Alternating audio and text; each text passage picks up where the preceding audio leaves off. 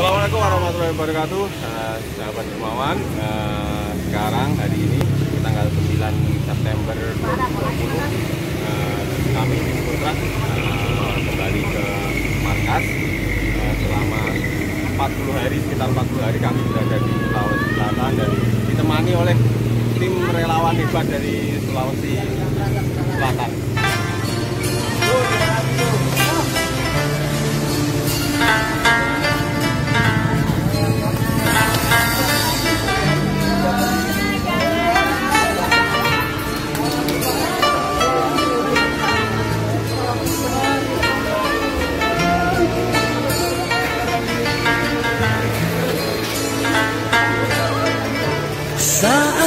kita berpisah